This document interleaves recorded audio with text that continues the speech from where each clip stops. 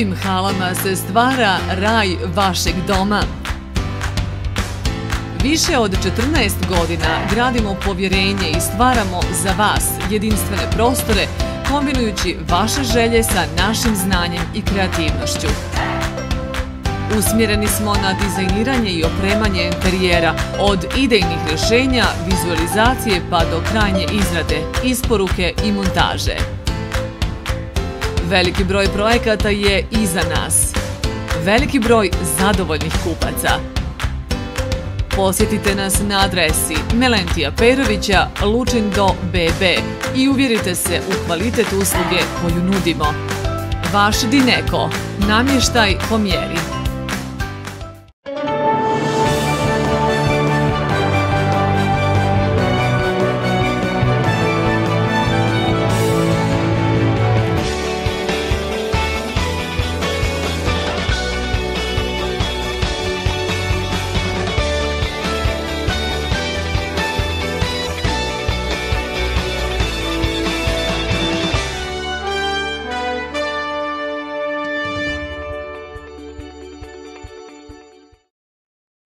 Poštovani gledalci, dobro jutro. 8 časova 31 minut, dobro poznat termin za početak jutarnjeg programa i emisije Dobro jutro Hercegovino.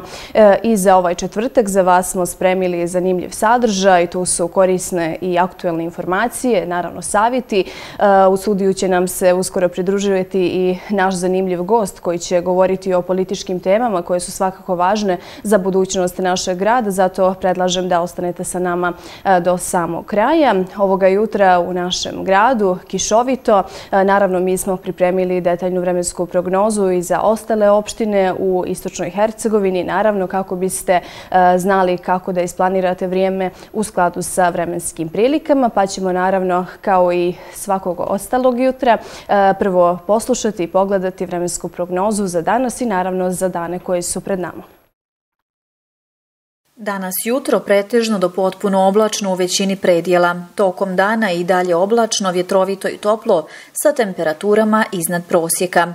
Uveče uz slabu kišu, lokalno i pljuskom, prvo u predjelima od sjeverozapada do juga, a potom i u ostalim. Vjetar umjeren, lokalno i pojačan, pretežno južnih smjerova. Minimalna temperatura vazduha od 4 do 9 stepeni, u planinama od 2 stepena Celzijusa. Najviša dnevna temperatura vazduha od 7 do 12 stepeni, na planinama od 3 stepena, a na sjeveru lokalno i oko 15 stepeni Celzijusa. Tokom noći i jutra oblačno sa kišom u većini predjela. Sutra tokom dana u zahlađenje kiša će preći u susnježicu i snijeg prvo na planinama na zapadu i istoku, a potom i u nižim predjelima na sjeverozapadu i centralnim predjelima. Na krajnjem jugu uz umjerenu kišu. Uveče i u noći na subotu uz formiranje snježnog pokrivača većeg u planinama, a umjerenog u nižim predjelima. Minimalna jutarnja temperatura vazduha viša od dnevne od 6 do 11 stepeni, u planinama oko 3 stepena. Dnevna temperatura vazduha će biti u padu, pa će uveče biti od 2 do 7 stepeni, na planinama od minus 2 stepena.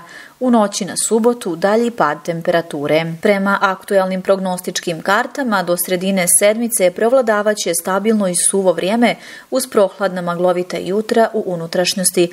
U Hercegovini sa više sunca danju. Maksimalne dnevne temperature biće iznad uobičajenog prosjeka, za ovaj period godine. Od četvrtka moguće je jače pogoršanje vremenskih prilika praćeno kišom, koja će sa padom temperatura preći u susnježicu i snijeg. Nadolazeća promjena će se sa zapada i jugozapada tokom dana postepeno proširiti na cijelu zemlju. Pritome se veće količine padavina očekuju u Bosni, a manje u Hercegovini.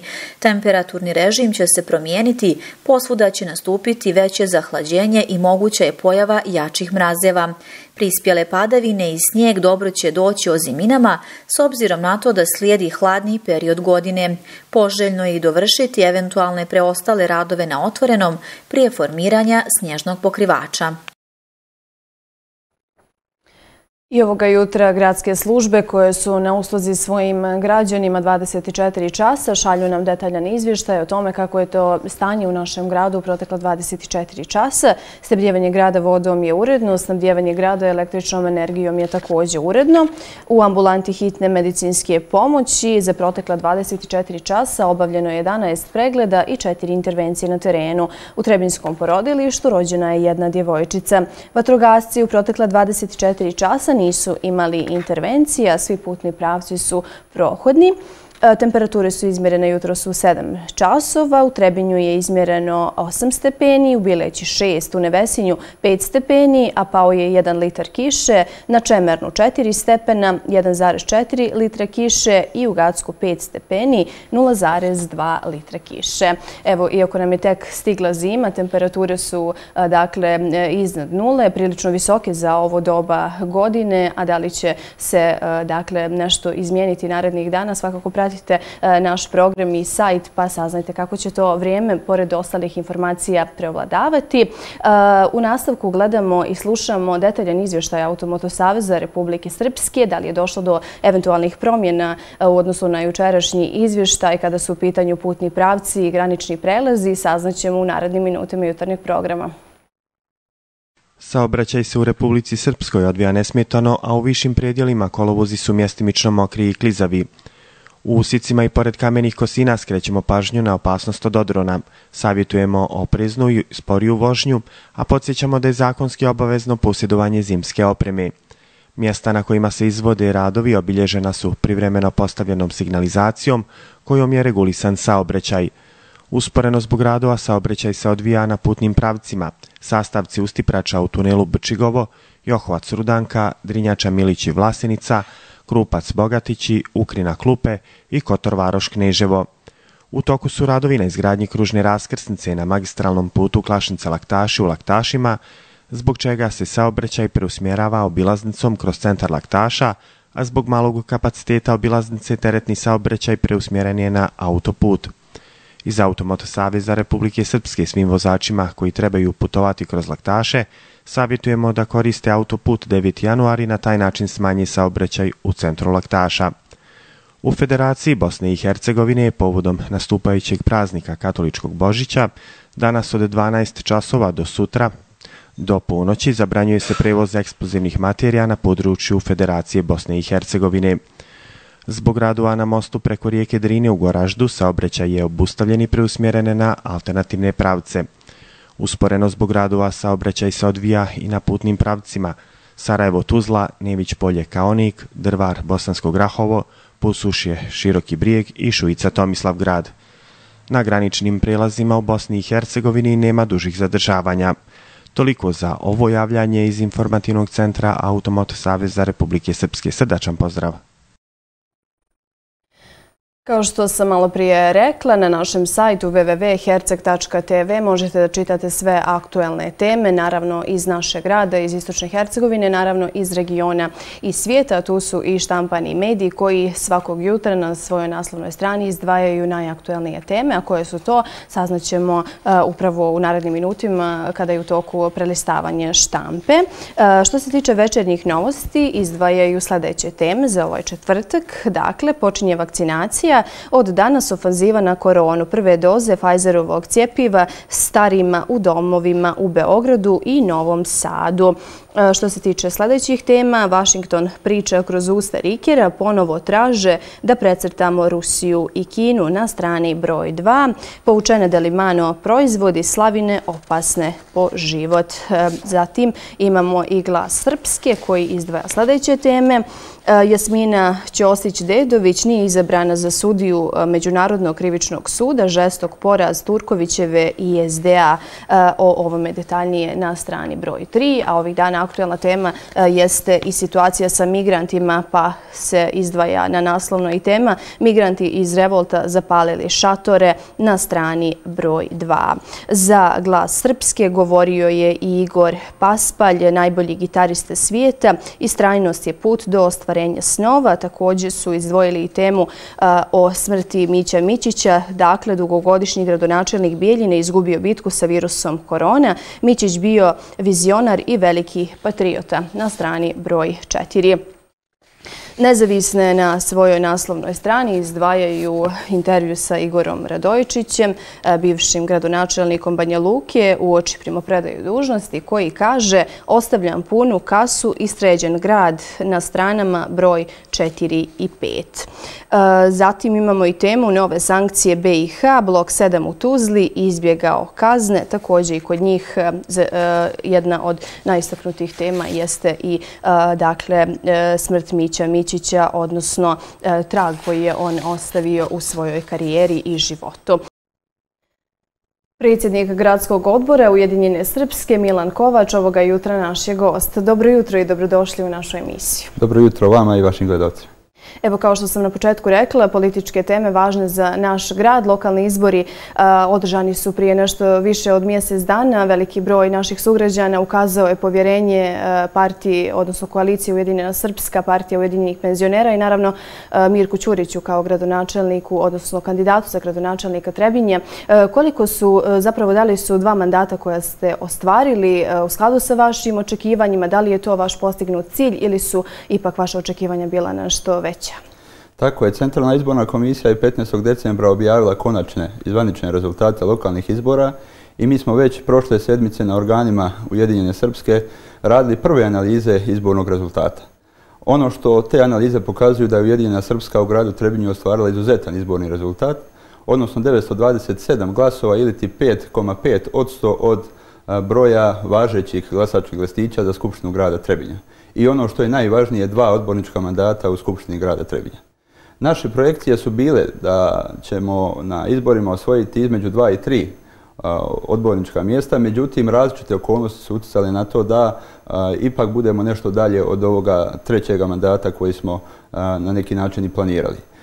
Naime, ja sam apsolutno zadovoljan i takva je ocjena i organa stranke da Ujedinjena Srpska zajedno sa partijom e, Ujedinjenih penzionera ima dva odbornička mandata, što joj daje šansu da zajedno sa e, socijalističkom partijom dijeli drugo mjesto u okviru vladajuće koalicije. E, naš je doprinos zaista bio veliki kada je u pitanju izbori gospodina Ćurića za gradonačelnika Trebinja i mi u jednom trenutku nismo sumnjali da će gospodin Ćurić biti izabran za gradonačelnika, odnosno da će nastaviti svoj prethodni mandat.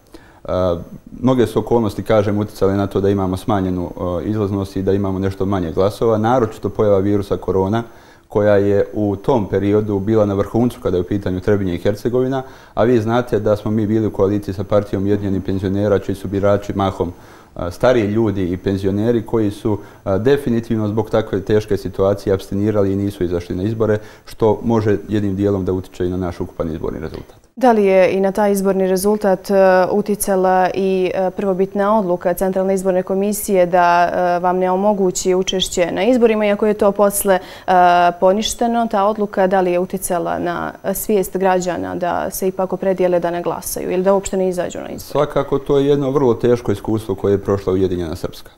Eh, znate, kada na početku same izborne kampanje imate jednu takvu nezakonitu odluku, a sud je pokazao da je takva odluka nezakonita i kasnije je poništio, vi onda imate eh, jednu situaciju da vaši ljudi koji uporno, koji treba da rade kampanju, koji su na terenu, da vaši kandidati koje ste već ranije izabrali na liste, eh, budu na neki način u dilemi da li će Ujedinjena Srpska imati pravo da učestvuje na izborima ili neće i imate smanjenu aktivnost rada na terenu i inače političku aktivnost kada je u pitanju i Ujedinjena Srpska, ali i naši koalicijani partneri koji su iščekivali u Trebinju zajednu odluku sa nama.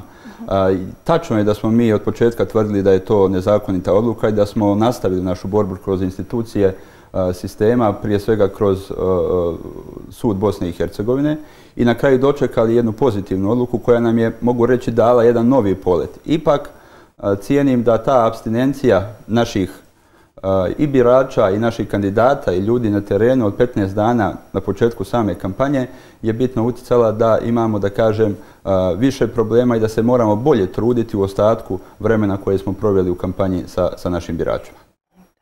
Recite mi, aktualni gradski e, odbor aktivno i kontinuirano radi. Evo, pred vama je e, vrijeme. E, na čemu ćete se bazirati, na kojim programima, na čemu ćete, na šta ćete najviše staviti akcenat u tekućem mandatu? Tako je, gradski odbor radi u punom sastavu, u kontinuitetu. Mi zaista redovno državamo i naše sjednice, imamo kontinuirane aktivnosti kada je u pitanju i Ujedinjena Srpska i e, koalicijni partneri sa kojima sada u ovom trenutku pregovaramo oko formiranja lokalne vlasti. Mi svakako imamo za cilj da u, u lokalnoj skupštini pokažemo svu našu snagu, energiju i znanje i da naše diskusije usmjerimo na, onome, na ono što je tema e, same sjednice, odnosno na e, tačke dnevnog reda koje zajedno sa našim koalicijnim partnerima u skupštinskoj većini budemo delegirali na same sjednice lokalnog parlamenta. Vi znate da, najveću, da najveće, najviše posljedica zbog pojave virusa korona snosi naša privreda koju treba, koja treba da se oporavi i sigurno da će većina naših aktivnosti biti usmjerena upravo ka tome da podignemo našu privredu, a ako ništa drugo da rasteretimo naše privredne subjekte, da bi se lakše mogli vratiti u proces normalnog rada, a to znači i stabilnost i plata i drugih primanja, što je svakako važno za naše građane.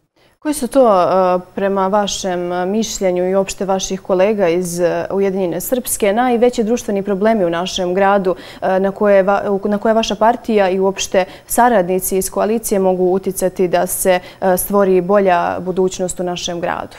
Već sam rekao da možda najtežoj situaciji se nalaze privredni subjekti koji imaju smanjenu privrednu aktivnost. Mhm. I mi kroz lokalnu skupštinu, ono što je naša nadležnost, trebamo voditi računa i pronaći načine kako da olakšamo ljudima da se vrate u normalne privredne tokove.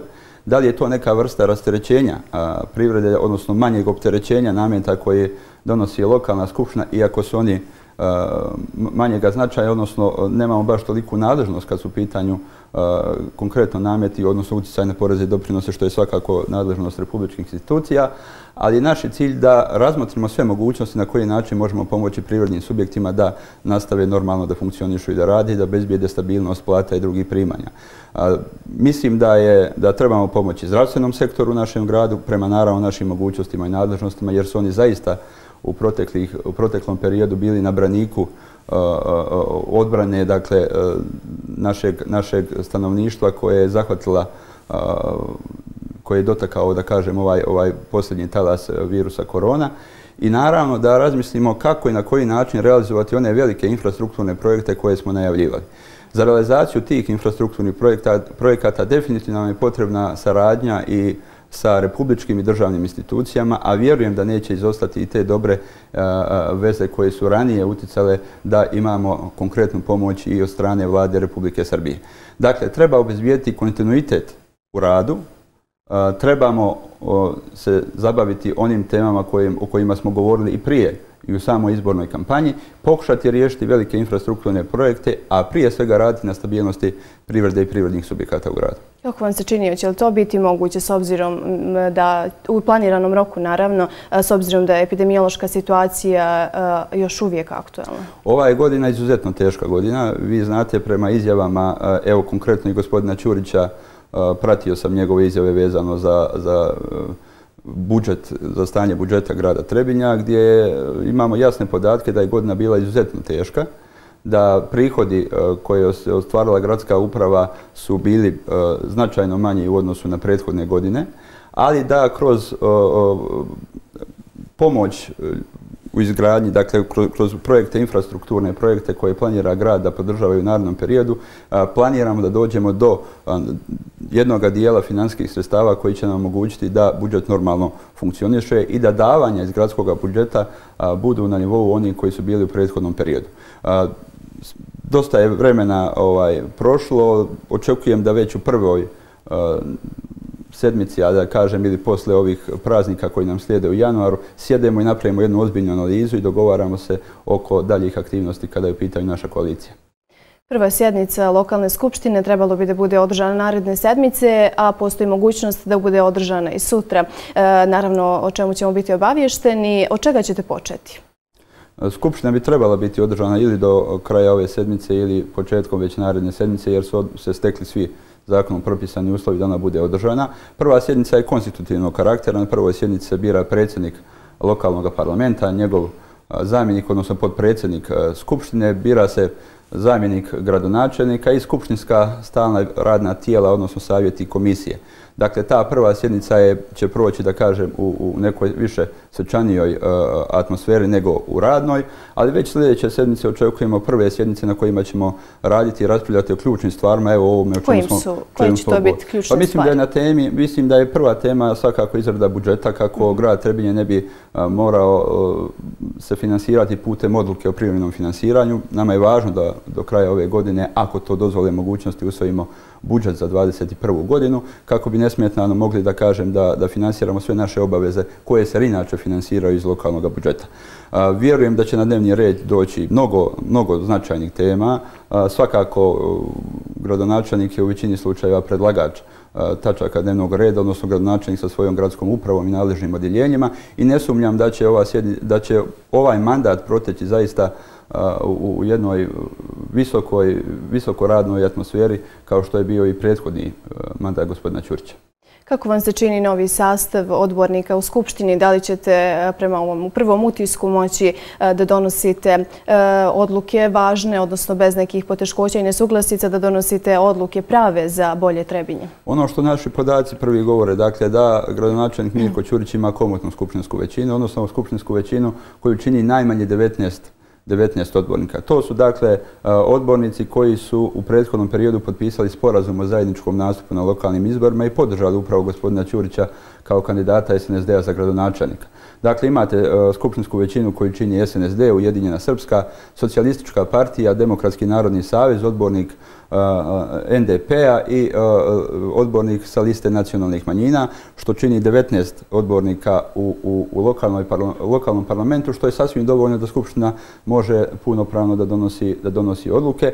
Vidjeli ste najave i spekulacije da će možda ta skupštinska većina da se širi i prema nekom eh, većem broju, ali to je još uvijek na domenu spekulacija i ne bih želio komentarsati. Evo, govorili smo dakle o odluci, prvobitnoj odluci CIKA da vam uskrati pravo. Upreko s tome ostvarili ste značajan rezultat na republičkom nivou, odnosno partija Ujedinjena Srpska. Vaš komentar na uspjeh partije na republičkom nivou, da li je to što ste očekivali e, ostvareno? Lokalni izbori su potvrdili ono što smo mi cijelo vrijeme govorili, a to je da je Ujedinjena Srpska ozbiljan politički subjekt koji ima najveći rast na prostoru Republike Srpske, a to smo pokazali u Trebinju. Samo u odnosu na prethodni period, na uporedni period iz 2016. godine, Ujedinjena Srpska u Trebinju ima rast od 25%, dok u odnosu na 2018. godinu kada su održani opšti izbori ima rast od čak 181%. Dakle, samo na primjeru Trebinja vidite koliki je rast Ujedinjene Srpske, a reći ću vam i podatak da od 13.000 glasova koje je Ujedinjena Srpska imala na prošlim izborima 2018. sada je već taj broj na više od 40.000, što znači da zaista držimo i dalje trend najbrže rastuće stranke u Republici Srpskoj. I nadamo se i želimo da taj trend i nastavimo. Želim i ja vama da naravno e, nastavite istim tempom i naravno da ostvarite značajne rezultate u svojoj e, karijeri e, uopšte stranke. Hvala vam što ste govorili za našu emisiju. Hvala i vama. Mi prelazimo kratko na reklamni blok i vraćamo se u studiju.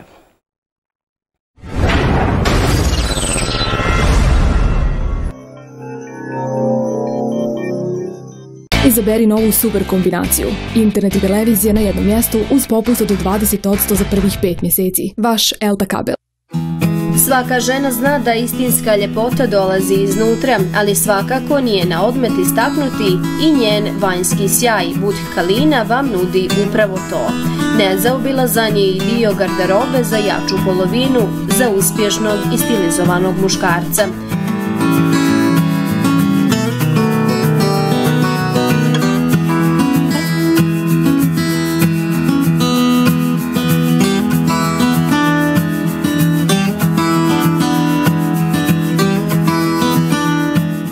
Brinemo o vama i vašem stilu. Nalazimo se u ulici Kralja Petra I. Oslobodioca, broj 26.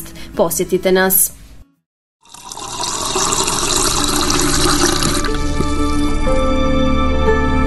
Osjeti život. Probaj humsko.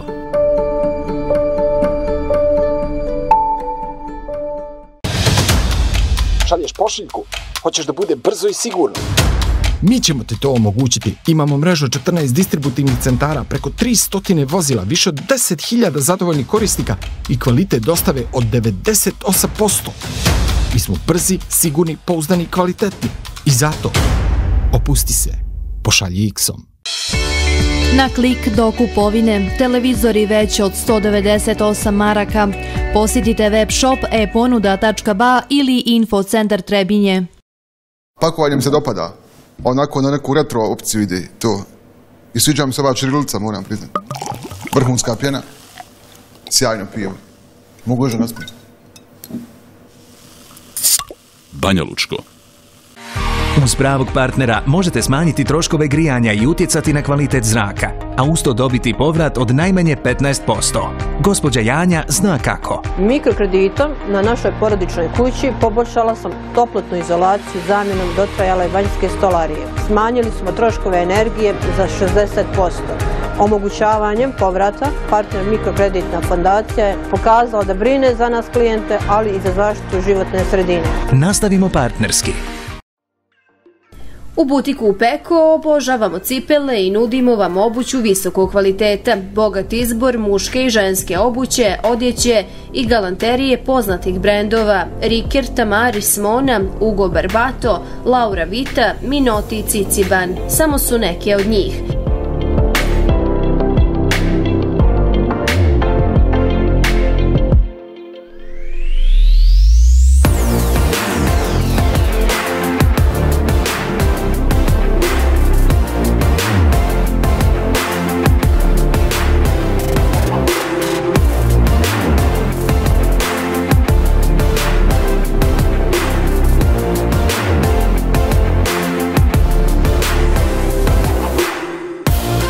Nalazimo se na glavnoj ulici na adresi Kralja Petra I.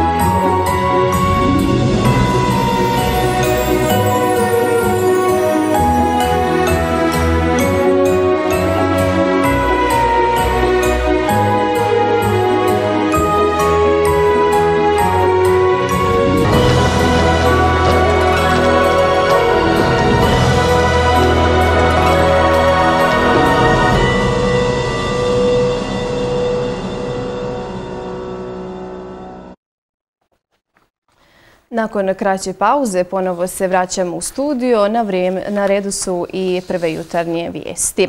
E, Dan Republike Srpske, 9. januar, obilježit ćemo svečanom akademijom, ali neće biti zvanica. Poručila je Željka Cvijanović, predsjednica Republike Srpske. U okviru Dana Republike Srpske bit će dodijeljene i medalje odlikovanja, a bit će promovisan i film Koridor. Najavila je predsjednica Srpske Željka Cvijanović. Svečada akademije bit će televizijskog tipa, namjenjena svim građanima, Biće organizovani svečani defile, ali ne za 9. januar Dan Republike, već za video dan 28. juna zbog epidemiološke situacije, rekla je Željka Cvijanović.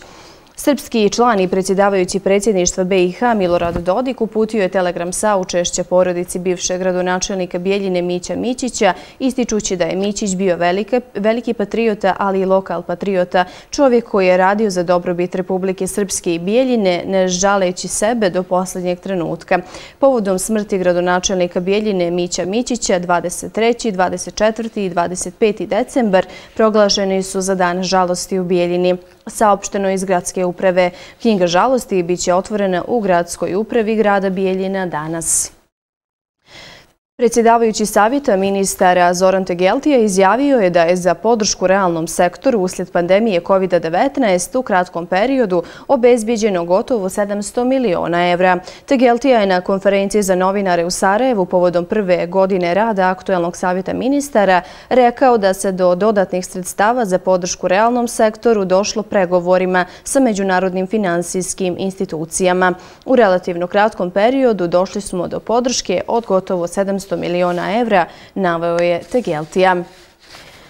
Predsjednik Skupštine Srbije Ivica Dačić poželio je što brži oporavak srpskom članu i predsjedavajući predsjedništva BiH Miloradu Dodiku koji je zaražen virusom korona. Postoji naša spremnost, kao što je rekao i predsjednik Srbije Aleksandar Vučić, ako bude potrebe da se Dodikovo liječenje nastavi u Srbiji. Nadamo se da za tim neće biti potrebe i da će se brzo oporaviti rekao je Dačić nakon sastanka sa predsjednikom Narodne skupštine Republike Srpske nedeljkom Čubrilovićem. Dodik se osjeća dobro i pod nadzorom je ljekara. U Crnoj Gori za vrijeme božićnih i novogodišnjih praznika neće biti zabrane kretanje u večernjim časovima. Navodi se u izmjenama mjera o sprečavanju širenja virusa korona koje su objavljene u službenom listu. Naredbama Ministarstva zdravlja za sprečavanje širenja virusa korona predviđeno je da se ukida policijski čas koji traje od 22 do 5 časova. Ukida se policijski čas od 22 časa, dakle 24. decembra do 5 časova 25 decembra, od 22 časa 31. decembra do 5 časova 2. januara 2021. te od 22 časa 5. januara do 5 časova 7. januara. To su dakle bile neke najaktuelnije teme eh, i informacije za ovo jutro, eh, a naravno o svim aktuelnim iz naše eh, države i regiona i naravno iz našeg grada bit će riječi u našoj informativnoj emisiji od 16 časova i 30 minuta. Mi u nastavku gledamo prilog e, koji nam šalju kolege iz e, te sa televizije K3. Naime, radi se o Mihajlu Radovanoviću koji je digao noge na Derventu. Digao e, Derventu na noge. On je jedno od troje djece iz Republike Srpske koje zbog liječenja spinalne mišićne atrofije lijek košta 540.000 evra. Iako su sredstva za njegovo trenutno liječenje obezbiđena iz raznih fondova, potrebna su dodatna sredstva za pomagala, ali i njegovu rehabilitaciju koja je usporila, koju je usporila aktuelna situacija sa pandemijom. U nastavku gledamo prilog. Drvenčanin Mihajlo Radanović, koji ima samo 17 mjeseci, boluje od spinalne mišićne atrofije i zbog liječenja prima spinrazu, lijek koji košta 540.000 evra. Svi troškovi njegovog liječenja pokriveni su sredstvima Fonda solidarnosti Duša djeca, koji je do sada uplatio preko pola milijuna evra za liječenje i nabavku njegovih aparata, dok tekuće troškove snosi Fond zdravstvenog osiguranja Republike Srpske. Ipak, ova porodica ima još mnogo drugih izdavanja kako bi pomogli Mihajlu. I pored toga mi imamo i druge troškove koje opterećuju naš porodicu, koje opterećuju naš porodični budžet. za nabavku raznih pomagala, komunikatora, standera i što nam je vrlo važno, troškove koje planiramo da uložimo u njegovu rehabilitaciju, koja je najvažniji dio njegovog liječenja. Međutim, sad smo malo spriječeni da idemo negdje dalje u neke veće centre specializovane za tu oblast, upravo zbog ovog svega sa koronavirusom. Rajka ističe da je Mihajlo do sada primio pet doza spinraze, a početkom naredne godine nastavlja liječenje. Mihajlo u principu e, zna na svaka četiri mjeseca prima svoju dozu spinraze. Sljedeća doza je planirana početkom januara. Svi, svi dogovori i sve pripreme su u toku, znači kontakt je ostvaren, fond solidarnosti je već u procesu odobravanja sredstava, tako da to nema problema. Kažem, samo problem je ta rehabilitacija e, ko, na koju ne možemo jednostavno da odemo još se jednostavno bojimo zaraze i svega ostalog zbog ove pandemije virusom korona, ali u svakom slučaju već kad dođe proljeće mi ćemo morati da odlučimo da negdje krenemo jer je to zaista najvažnija karika u njegovom, njegovom ozdravljenju. Za Mihajlovo liječenje neophodan je i diagnostički aparat za gasne analize u krvi, a njegovi roditelji su se odlučili da u saradnji sa Domom zdravlja kupe aparat koji će biti dostupan i za potrebe stanovništva. U dogovoru sa direktoricom, sa šeficom laboratorije, mi se izjasnili i rekli da ćemo sa naše strane da obezbidimo sredstva za nabavku reaganesa za taj aparat. Taj aparat je neophodan, znači kako bi se ispratilo njegovo zdravstveno stanje. Nakon ove informacije Derventa se digla na noge. Najveći pokretač svega bila je osnovna škola 19. april gdje radi Mihajlova majka, a učenici i nastavnici ove škole vrijedno pripremaju veliki bazar na četiri lokacije. Naša škola zajedno sa savjetom učenika već tradicionalno svake godine organizuje humanitarnu akciju Jedan slatkiš, jedno dijete, u kojima prikupljamo slatkiše za djecu i socijalno ugroženih porodica. Ove godine smo tu akciju malo promijenili. E, pozvali smo učenike da u školu ne donose slatkiše, nego svoje dobrovoljne novčane priloge za pomoć u nabavci medicinskih aparata koji će pomoći pri liječenju i rehabilitaciji malog Mihajla Radanovića. Pripremamo bazar koji će se održati u četvrtak 24. decembra na četiri mjesta u gradu. Ispred frukte, frukte, fruktatred, svi znate, kort, ispred Binga u gradu na Korzu. I četvrti će biti ovdje na pijaci od 9 do 11 časova, četvrtak je, pa će biti na pijaci. Ja bih se zahvalila prvenstveno roditeljima. Svi nastavnici, kolege, učenici su uključeni u ovu akciju. Bazar je već održan u vrtiću Trul, kolo srpskih sestara. 5. i 6. januara organizuje Božićni bazar, a akciju su podržali i najavili sportski kolektivi Dervente, kao i ostale škole. Svi koji žele da se uključe i pomognu ovoj 17-mjesečnoj bebi, mogu to uraditi i uplatom na žiro račun otvoren u NLB banci na ime Rajka Radanović, a otvoren je i devizni račun. Pred kraj našeg druženja podsjetit ćemo vas koji su to aktuelni oglasi za posao, zato ostanite sa nama. Sale Connect Point DOO raspisuje konkurs za radno mjesto montažer radnik u proizvodnji. Opis radnog mjesta proizvodni i montažerski poslovi na proizvodima iz asortimana firme SCO. Potrebno radno iskustvo na istim ili sličnim poslovima. Vaše prijave možete dostaviti putem opcije Prijavi se na oglas ili na brojeve telefona 036 576 397 ili na broj telefona 062 686 588. Lokacija Mostar, broj izvršilaca 2. Datum objave 18. decembar, trajanje oglasa 30 dana. Kolektiv DOO Sarajevo raspisuje konkurs za radno mjesto servisni tehničar. Opis posla, obavljanje planiranih godišnjih servisa prema procedurama i bez nadzora, praćanje uobičajenih i učestalih kvarova, otklanjanje istih u saradnji s tehničkom podrškom, otklanjanje kvarova na električnim, mehaničkim i hidrauličkim sistemima, vođenje manjeg tima, odgovorno za rad na siguran način, vođenje evidencije, dokumentovanje i izvještavanje u skladu s propisima firme, provođenje analize stanja rada vjetroelektrane i vjetroagregata u svrhu preventivnog djelovanja. Uslovi. Srednja tehnička škola, prednost elektrostruka, alternativno može i visoka stručna sprema, poželjno iskustvo u struci, održavanje električnih i hidrauličnih sistema, snalaženje u stručnoj dokumentaciji, napredno poznavanje engleskog jezika u govoru i pismu, vrlo dobre informatičke vještine, sposobno za rad u otežanim uslovima, rad na visini, visoki napon, niske i visoke temperature, vozačka dozvola B kategorije, pedantnost i samoinicijativnost u poslu, sposobnost i volja za kontinuiranim učenjem, radno iskustvo više od dvije godine, probni rok godinu dana. Vašu prijavu možete poslati putem opcije Prijavi se na oglas. Lokacije Mostar, Tomislavgrad, broj izvršilaca 1, datum objave 1.12. trajanje oglasa 30 dana. Metalex DOO raspisuje konkurs za radnu poziciju menadžer za velike centre non-food.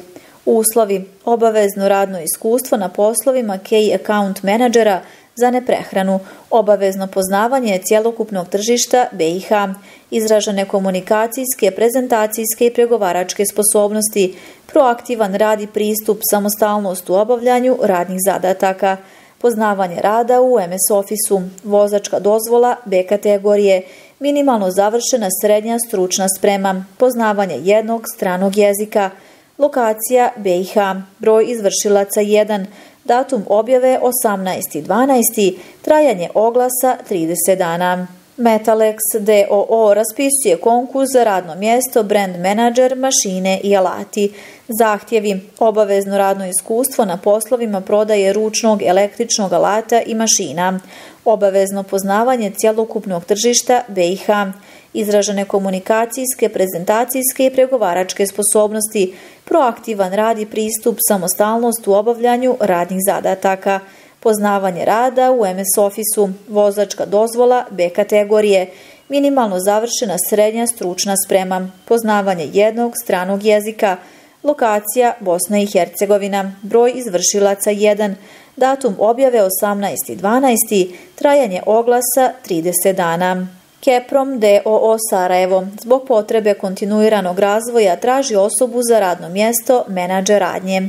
Zahtjevi. Minimum četvrti stepen stručne spreme, minimum jedna godina radnog iskustva na istoj ili sličnoj poziciji, potrebna znanja i vještine, rad na računaru, engleski jezik, srednje nivo, rukovodđenje, poznavanje robe sa kojom radi, poznavanje tržišta, organizacione vještine, komunikacione vještine, lokacija Mostar, broj izvršilaca 1, datum objave 15.12. trajanje oglasa 15 dana. Keprom DOO Sarajevo uslijed proširenja tima raspisuje konkurs za radno mjesto prodavac, primarne dužnosti i odgovornosti, rad na kasi, rad sa kupcima, primanje i izlaganje robe, održavanje higijene radnje, kontrola postojanja i tačnosti cijena na izloženim artiklima, potrebni kriterijumi, minimum četvrti stepen stručne spreme, poznavanje rada na računaru, potrebne vještine, temeljnost i preciznost, upravljanje stresom, efikasno komuniciranje, usmjerenost na ciljeve. Tražimo ljude koji su etični, fleksibilni, timski orijentisani, vedrog duha sa pozitivnim stavom prema kolegama. Ukoliko ste se prepoznali u spomenutoj poziciji, a ponuđeno radno mjesto vam predstavlja lični izazov, onda bi nam bila čast da postanete dio našeg tima. Prijavite se. Lokacija Mostar, broj izvršilaca 1, datum objave 15.12. trajanje oglasa 15 dana. Keprom DOO Sarajevo, zbog potrebe kontinuiranog razvoja, tražimo osobu za radno mjesto zamjenik menadžera radnje.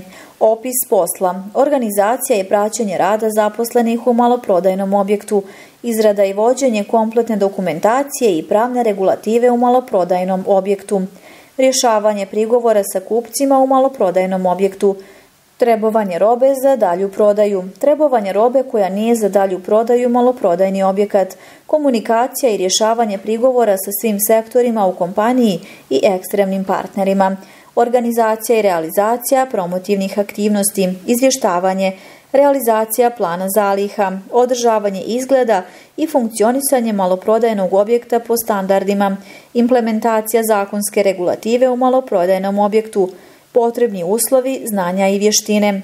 Četvrti stepen stručne spreme, poznavanje rada na računaru, vještine rukovodđenja, poznavanje robe sa kojom radi, poznavanje tržišta, organizacione vještine, komunikacione vještine, lokacija Mostar, broj izvršilaca 1, datum objave 15.12. trajanje oglasa 15 dana. Ladrasta DOO Studio za dizajn enterijera raspisuje oglas za radnu poziciju arhitekta dizajner enterijera. Kandidat mora ispunjavati sljedeće uslove – visoka stručna sprema ili viša stručna sprema, arhitektonski, građevinski ili fakultet smjer dizajn enterijera, poznavanje rada na računaru, vozačka dozvola B kategorije, kreativnost i smisao za detalje, sklonost timskom radu i razvijene komunikacijske sposobnosti, poželjno radno iskustvo na istim ili sličnim poslovima, Prijave sa kratkom biografijom i portfolijom slati putem opcije Prijavi se na oglas. Lokacija Mostar, broj izvršilaca 1, datum objave 18.12. Trajanje oglasa 20 dana.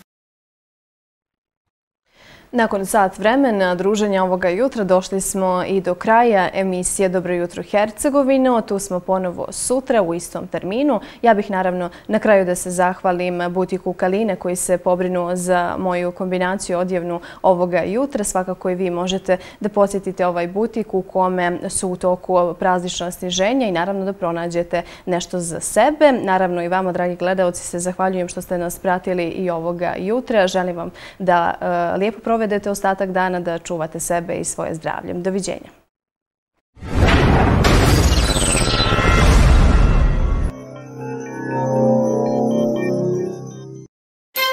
Butik Stil. Odličan izbor ženskih i muških modela za svečane prilike. Modeli za svaki dan. Dođite i uvjerite se sami.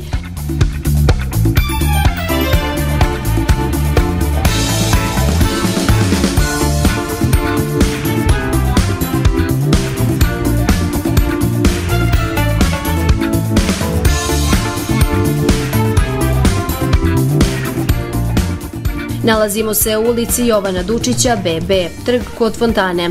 Moda za sve, budite u stilu, posjetite nas. Restoran Ognjište je ekskluzivan restoran sa internacionalnom kuhinjom i vrhunskom uslugom. Nalazimo se na jedinstvenoj lokaciji u Trebinju, na samoj raskrsnici prema Dubrovniku i Herceg Novom. Nek bude domaćinski. Restoran Ognjište.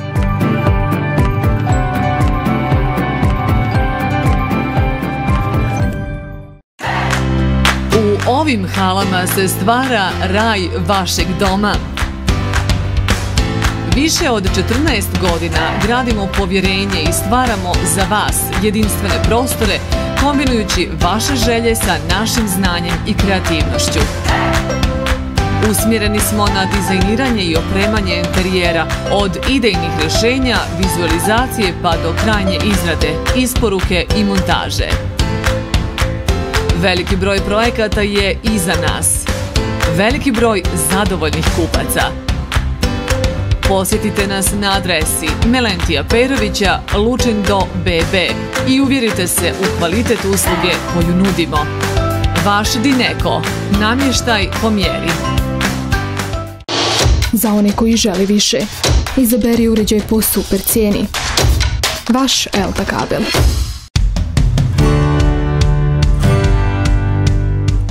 Butik Park, oaza dobrog ukusa. Sportska i elegantna garderoba za sve generacije. Mali i veliki konfekcijski brojevi. Od sportskog programa poznati brendovi kao što su LTB, Exit, Sevin, Askis i drugi.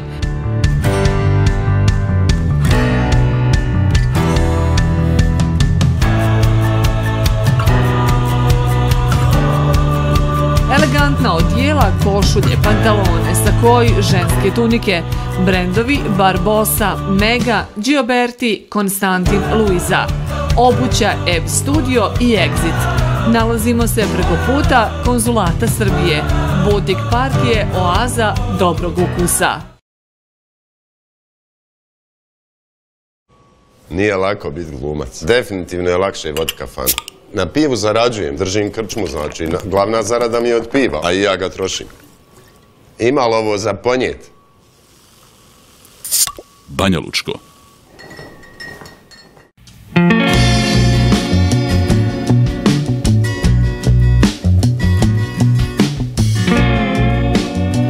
Vjetrenica je najveća i najpoznatija pećina u Bosni i Hercegovini, turističko odredište i zaštićeni spomenik prirode još od 1950. godine. Smještena je uz sam ru Popovog polja u selu Zavala, opština Ravno, a od Trebinja je udaljena 45 minuta vožnje. Sve detaljnije informacije možete pronaći na zvaničnoj stranici www.vjetrenica.ba.